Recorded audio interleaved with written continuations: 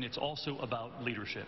You're aware of the criticism from many candidates on this stage tonight that you co-authored the so-called Gang of Eight bill that would have created a path to citizenship for people here illegally. Governor Christie has said of you, as soon as you felt the heat, you turn tail and run.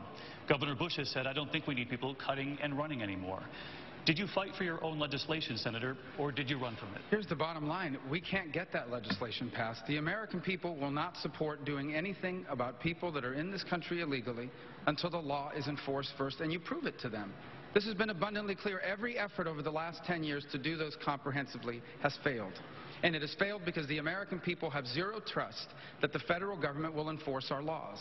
And that's why since then I have said repeatedly, if you are serious about immigration reform, then the key that unlocks the door to being able to do that is not just to pass a law that says it's going to enforce the law, but to actually do it. To hire the 20,000 new border agents, to finish the fencing and walls, to put in place mandatory e-verify, to put in place an entry-exit tracking system to prevent visa overstays. And once that's in place and that's working, believe the American people will support a very reasonable but responsible approach to people that have been here a long time, who are not dangerous criminals, who pay taxes and pay fines for what they did. But until then, none of that is going to be possible. But I'm asking, did you fight for the legislation at the time, or did you run from it as your... Well, the legislation passed, but it has no support.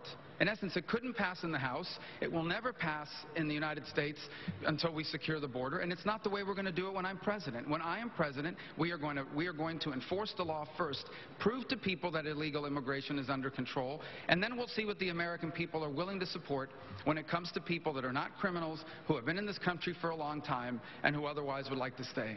Governor Christie? Yeah, David, I'd just like you to, to listen again, everybody. This is the difference between being a governor who actually has to be responsible for problems and not answering a question. The question was, did he fight for his legislation? It's abundantly clear that he didn't.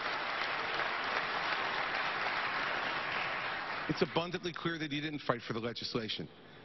When the teachers union attacked me with $20 million of ads because I wanted to reform teacher tenure, I fought them and fought them and fought them, and I won.